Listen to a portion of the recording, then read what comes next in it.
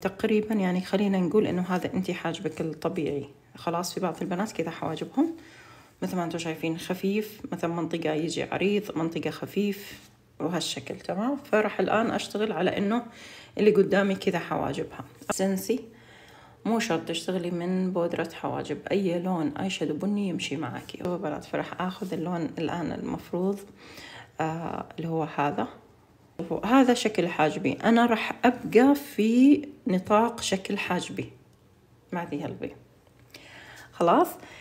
راح أخ... يعني زي ما قلت خليكي في نطاق شكل حاجبك. لا تغيري منه. لا تخليه مربع ولا مثلث ولا مستدير ولا ما أدري إيش. خليه على شكله. هو الأنسب لك. خلاص؟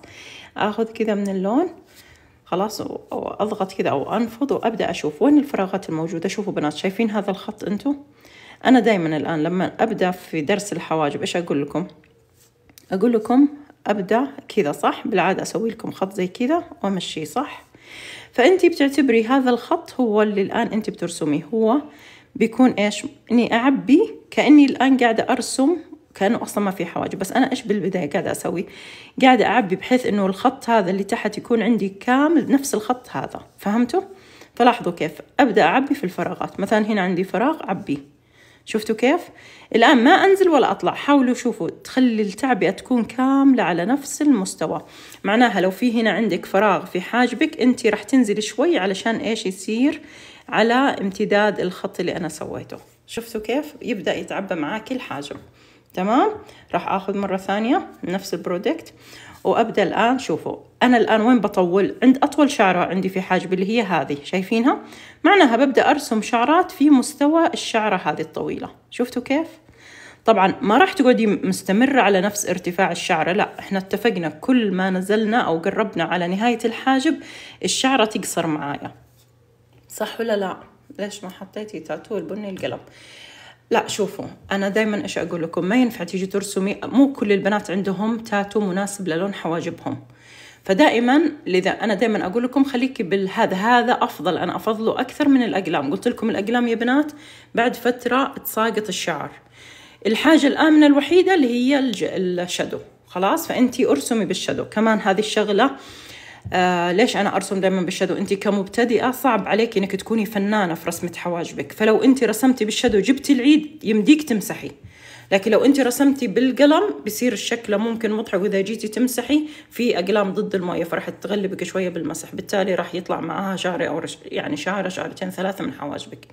فخليكم آه مركزة على الأظافر طيب والدرس؟ بعدين قلبي.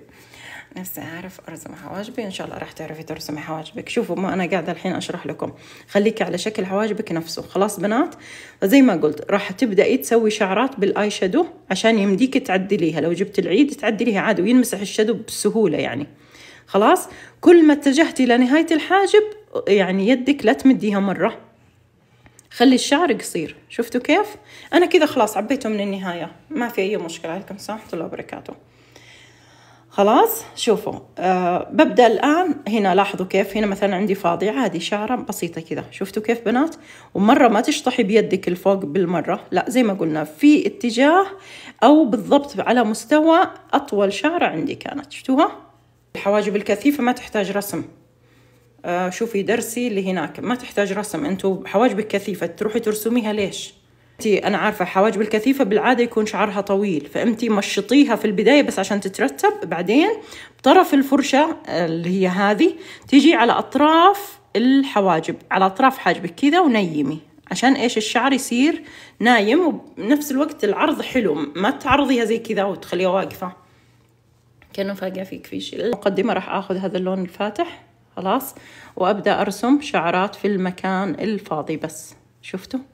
ما تطمسي بالمرة. لا بس المكان المحتاج إني أحط فيه شعرة حطيت. هنا بس كان عندي فراغ حطيت. هم مثلا يكون هنا عندها مسافة طويلة أو بعيدة بين حاجبها هذا وحاجبها الثاني. الآن في المسافة هذه خلاص أنا ممكن أحط شوية لون كذا. شوفوا كيف الآن بقرب المسافة. بحط لون مرة بسيط شايفين؟ شعرات كذا واقفة. شايفين؟ أنا محتاجة إني أسوي بالقلم. ليش الآن أسوي بنات بالقلم؟ لأن أنا قاعدة أرسم أصلا على جلد. أنا قلت إنه مسافة بين حاجبي هذا وحاجبي هذا طويلة. فأنا الآن الرسم هذا الاي شادو جاء على الجلد. يبان شكله إنه غلط. ليه؟ لأنه هنا بادي الشعر وهنا منطقة فاضية. هنا ممكن إني أسوي له شعرات أقدر أسوي شعرات بهذا إذا كنتي على الجلد فهذا يمشي معاكي مرة حلو الجهة هذه. خلاص؟ فمجرد إني بس إيش أسوي؟ شعرات زي كذا. شفتوا؟ فوق البودرة اللي أنا رسمتها. كذا إيش يبان؟ يبان شعر حواجبي مرة طبيعي. شفتوا؟ وأنا كذا إيش قربت المسافة بين الحواجب. طبعا بنات ما تقربوها مرة. يعني في بعض البنات مرة تشطح صراحة. تقرب الحواجب شوية يسلموا على بعض حواجبها. غلط. يعني ما تكوني بالمرة ولا تكوني بالمرة. okay؟ خليكي بالمرة. خليكم في الوسط. ينفع ميك اب بدون مدمع العين لأن البعض ما يناسبهم. انت الآن جاوبت على نفسك. البعض ما يناسبهم مو يعني معناها مو لازم مدمع العين. تمام؟ بنات مدمع العين أنا آخر شيء أفكر أسويه. حتى للعرايس ينفع؟ يعني بدون مدمع أيوه. تخيلي عاد بدون بدون مدمع ما يتم الزواج.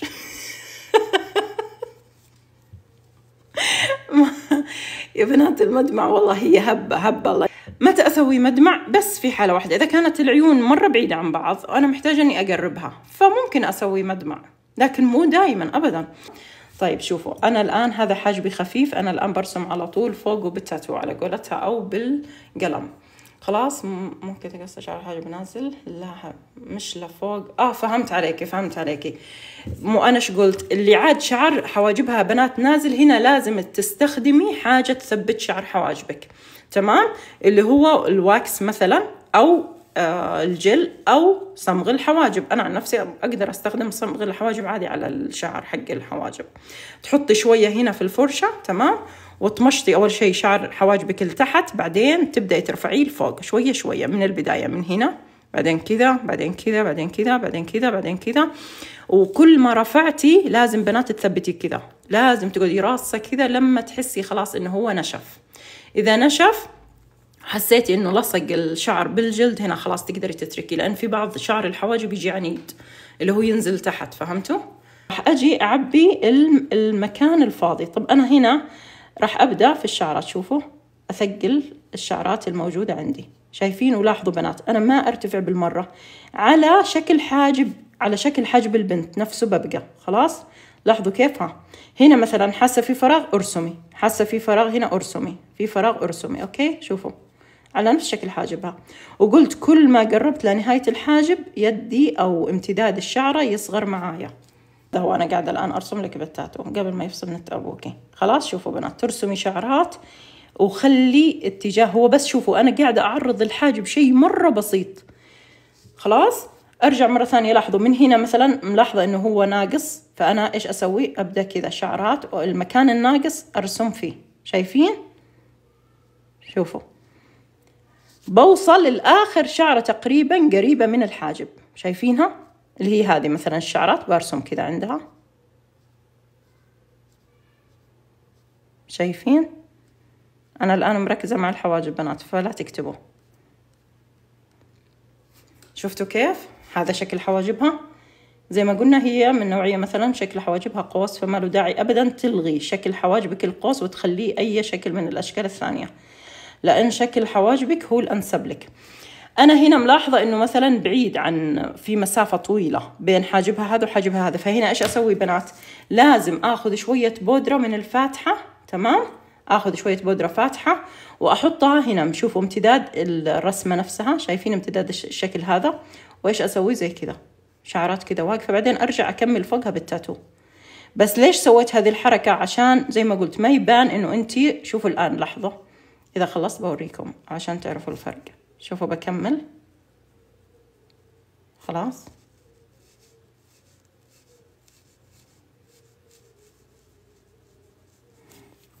شوفوا الفرق.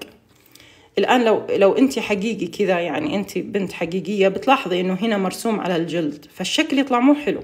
خلاص؟ فأنا إيش أسوي هنا؟ هنا أرسم فوقه بالشعرات اللي هي بالقلم حق الشعرات. شفتوا؟ عادي أرسم الآن شعرات. ليه؟ علشان زي ما قلت يبان عندي مرة إنه طبيعي وإنه حقيقي في هنا شعر.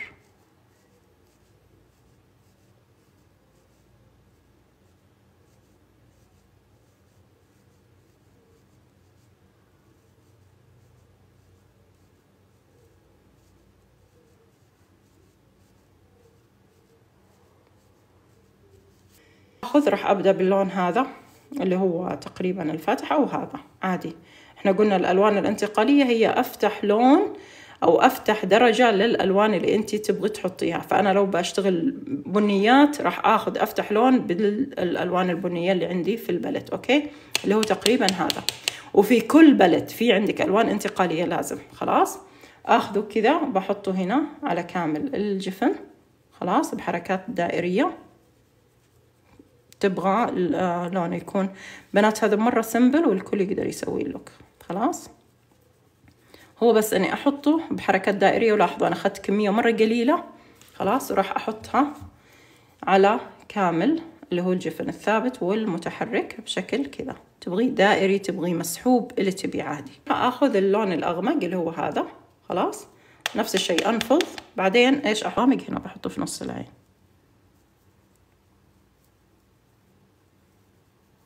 حطيت أنا الآن اللون خلاص أنا كذا خلصت اللوك. ما أظن في أسهل من كذا. أستخدم هذا اللون. بنات هو فيه زي إضاءة شوي. خلاص فراح أخذه مع هذا شوي. تمام؟ وراح أحطه هنا في مقدمة العين. ولا مشتاقة لك والله. يا حياتي اشتقت لكم العافية بنات. خلاص بنات راح أحط بني. راح أحطه هنا. ولاحظوا دائما أنا ما أتعمد إني أنظف الفرشة حقت ال eye shadow أو عفوا ال liner لأني دائما أحتاج إنه يكون الدمج اللي تحت العين أسود مع بني. شفتوا بنات؟ طلع زي كذا. liner.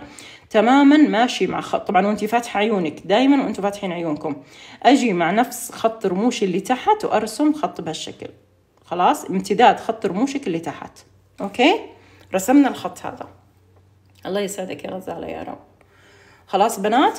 الآن وإنتي فاتحة عيونك راح تنزلي تتركي بداية الخط تنزلي بعده يعني تقريبا اثنين ملي. جيبي المسطرة. لا مو مسطرة. خلاص لا أترك يعني شوية كذا اثنين ملي. خلاص وأجي كذا مقفلة لا بداية ربع رموشي الأول اللي فوق. شايفين الرموش؟ هذا ربعها صح. فوين الخط حقي بينزل بينزل بعد أول ربع الرموش اللي فوق. شايفين؟ كذا. بس هذا هي. ترى والله يا بنات مو صعب. خلاص؟ الآن أبدأ إيش أسوي؟ أعبي في المكان الفاضي اللي يتكون معايا. زمان كنا نرسم زي كذا الأيلاينر ونخليه. بعد كذا ما أدري مين طلع لنا. شوي معقد. فقال إيش؟ لا أطمسوه فصرنا نطمس. أنا للأمانة يعني ما أحب ترى أتقيد بكلامهم يعني. في أوقات أنا للأمانة يعني ما أحب ترى أتقيد بكلامهم يعني. في أوقات تعن علي تعن علي أكيد فاهميني صح؟ بدون ما أترجم الكلمة. آه تطري على بالي تطري على بالي. أحس إني قاعدة أقول شعر نوسع شوي العيون. فإيش راح نسوي؟ الآن راح تخلي آه عينك مثل ما هي كذا. وأنتي فاتحة عينك شوفوا بنات آخر ربع العين شايفين؟ كأني بالضبط بحط برسم رسمة كذا مستقيمة. بس مو مرة من نص العين لا. خليكي بس آخر ربع العين. كذا ترسمي زي كذا. مفتوحة شوي شايفينها؟ تمام؟ إذا عينك صغيرة بتحطي كحل أبيض جوا عينك يعني هذا بتمشيه جوا العين. إذا الأيلاينر نفسها تمام؟ وأجي بنات شفتوا الخط الأبيض اللي أنا رسمته؟ خلاص إيش أسوي؟ أمشي كذا تحت الخط الأبيض شايفين؟ واضح معاكم؟ أمشي زي كذا.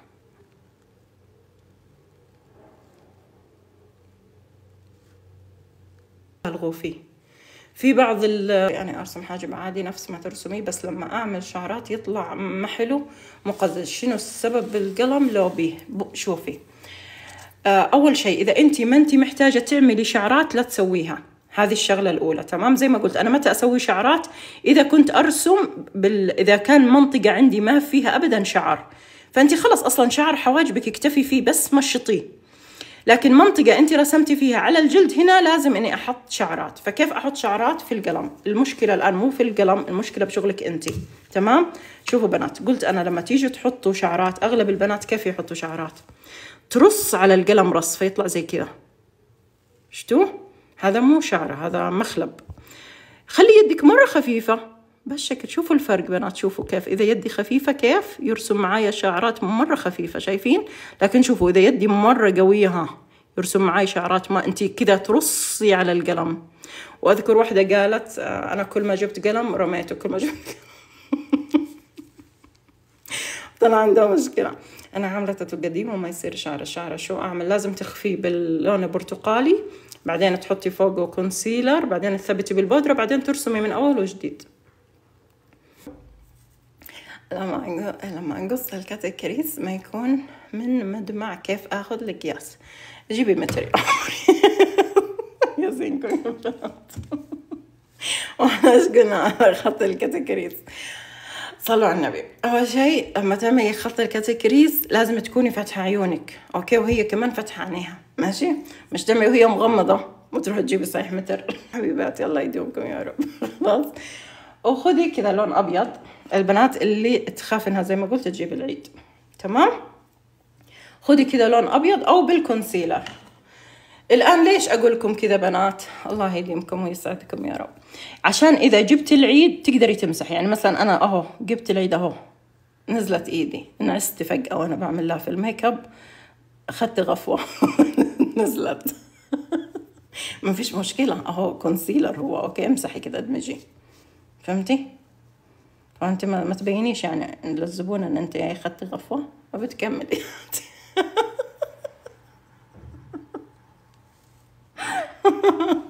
والله ضحكت ماني مش فاهمة المهم الضحك. خلاص يلا شوفوا. خلاص يلا خلينا الحين في الدرس. هي بتقول إنه كيف ترسم أو تعمل حدود ال cut crease وتكون تمام. فأسهل طريقة إنك أنت تاخذي إما concealer أو من ال foundation أو لون فاتح عشان لو مسحتيه ما فيش مشاكل تمام؟ هتعملي إيه؟ هتاخذي طبعا بنات شوفوا في بعضهم يبدأ من هنا في بعضهم من هنا في بعضهم من هنا في بعضهم بعيده عن بعض فالأفضل إنك تقربي ال cut crease من هنا تمام؟ هنا وانت فاتحة عيونك. يعني الخط يا بنات هذا يكون بالضبط فوق فتحة عينها. فأنا تقريبا شايفة الدائرة هذه. يعني وهي فاتحة عيونها فهمتوا؟ بهالشكل. قلت متى أنزل هنا؟ إذا وصلت شوفوا. إذا وصلت عند شايفين أنتوا نهاية شكل نهاية عينها؟ إذا وصلتي فوق نهاية العين انزلي النزلة. شفتوها؟ بعدين ارتفعي. رفعة بسيطة. هذه الآن هي حدود كاتكريسي هذه. شايفينها؟ بالنسبة للكاتكريس في أوقات تخليها زي كذا الرسمة وفي أوقات تقفليها. هذه عاد راجعة لك أنت. مثلا هذه ماركة نود رخيصة تمام؟ أنا ماخذتها من موقع اللي هو من شي إن. أهم حاجة عندي في ال في ال في البلت لما أنا أجيبه حتى لو إنه رخيص أنا بس اللي أبغى إني إذا سويت كذا على اللون أشوفه مرة واضح في إصبعي. هذا هو بس المهم. خلاص هذا جيبيه واشتغلي بتطلعي فنانة بيطلع لك معاكي مرة يجنن. ما شاء الله. أنا أعتقد بيأثر بس لو نوعه مش كويس بعد دقايق تحس بيسيح أو معرفش بيخف خالص أو بيتشفط من الوش. بصي بقى يا حياتي إحنا اتفقنا في حاجات إحنا بنعملها أو خطوات يا بنات عشان ما تسيحش ابدا. هو شوفوا في في في وجيه بتشفط الميك اب أنا قلتك بتتشفط هو هو الوش بيشفط. عشان الوش ما يشفطش الميك اب إحنا هنعمل إيه؟ هنخليه أول حاجة شبعان. تأكليه. والله يا بنات من جد. يعني أنت لا يغركم أنا أضحك بس هو حقيقه ترى في في وجيه سبحان الله تأكل الميك اب والله. أنا أسميه إنه لا هذه محتاجة للأمانة عناية يعني double. إيش تسوي؟ أول حاجة قبل ما تحطي ميك اب تمرري عليه ثلجة تمام؟ حتحاولي إنه دائما تحطي الميك أب أصلا وبشرتك تكون باردة. يعني لما تحسي كذا بشرتك تحسيها إنها باردة تمام؟ فانت مرري ثلجة بعدين نشفي وجهك بعدين على طول ابدأي في المرطب. خلاص؟ تخلي بشرتك يعني تمتص المرطب مية بالمية. بعدين تبدأ بنات طبعا هو ما يحتاج primer بس للأماكن اللي فيها مثلا الزيوت. خلاص؟ من ضمنها في أوقات اللي دائما بشرتهم تاكل اعرف إنه عندها الجفن زيتي فراح نستخدم هنا نضطر انه إحنا نستخدم لها primer حق العين تمام؟ اللي هو حق الجفن. طبعا هو يخفف إفراز الدهون. بتحطي بعدين بتحطي لها نقطة من اللي هو لا إله الله تثبتي عندها الجفن بالكامل بال loose powder أو بلون يكون اللي هو اللهم صل على سيدنا محمد بيج فهمتوا؟ لازم تثبتي لها. هنا بنات التثبيت مرة مهم. أهم حاجة إحنا بدأنا بشيء كريمي ثبتنا فوقه بالبودرة بعد ما تحطي الميك اب وتخلصي حترشي Fix Plus وتنتظري شوية. بعدين طبعا ال Fix Plus بنات ما نخليه يجي على العين أوكي؟ تغمضي زي كذا عيونها وترشي. آخر ما تخلصي ثبتي لها باللوس باودر لازم كامل وجهها. بعدين حتحطي لها آه، المثبت. هذا مرة مهم. أنا مثلا جفني زيتي أو دهني. إذا حطيت كحل جوا العين مهما ثبته مهما ثبته حده معايا ثابت ساعتين بالكثير. بعد ساعتين خلاص يبدأ ينزل لي هنا أسود. فهمتوا؟ عشان كذا بنات أنا ما أحب أحط كحل جوا عيني. أبدا ما أحب أحط يعني خلاص أكتفي بالشدو بس. العين. بنات شوفوا ال Fix هو إيش وظيفته؟ إنه يدمج لك الأشياء مع بعض. فانت أصلا already دامجة العين ومخلصة فليش تروحي ترشي عليها Fix؟ المثبت إيوه بنات لا المثبت ترشي على كامل وجهك وأنت مغمضه عيونك ورشي. لا عاد مو لهالدرجه لا ال primer بنات ما يوصل تحت العين. تحت آه تحت العين أنت بتثبتي بالبودرة. أهم شيء يكون بودرة وحتشتغلي تحت عيونها بال eye shadow بس. عاد مو لهالدرجه خلاص. نسوي زي كذا.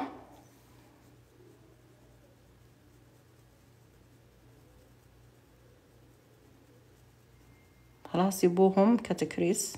عشان أوريها من وين الكاتكريس يبدأ. خلاص بنات. شوفوا.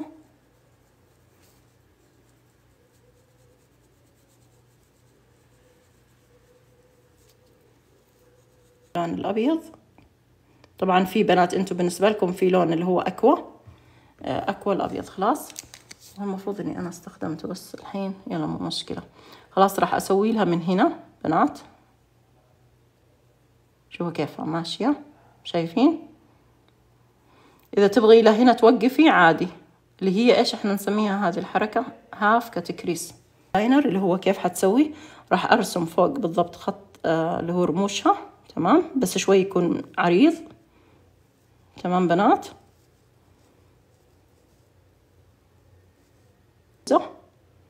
زي ما اتفقنا البوزة مو ضرورية بس أنا راح أسوي بس كذا يعني كتشكيل.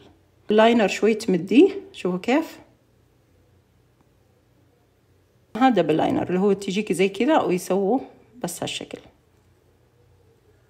خلاص؟ ودخلي معاها الرسمة اللي تحت. طبعا وإيش أخلي بنات عرضها؟ تمام. هو زي كذا أحاول إيش أوصل عشان يكون الشكل اللي قدامي حلو. أحرج قد محبوبة يا حياتي. شوفوا بنات.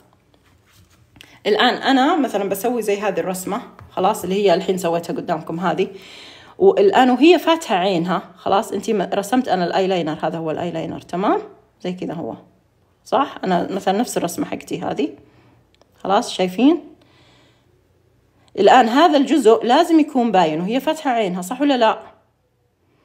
نفس الشيء اللي هي الخط ال cut crease. هنا بيكون خط ال cut crease هنا.